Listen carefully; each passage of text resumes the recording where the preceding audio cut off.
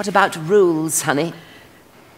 Rules. I believe that Matilda Wormwood is an exception to the rules.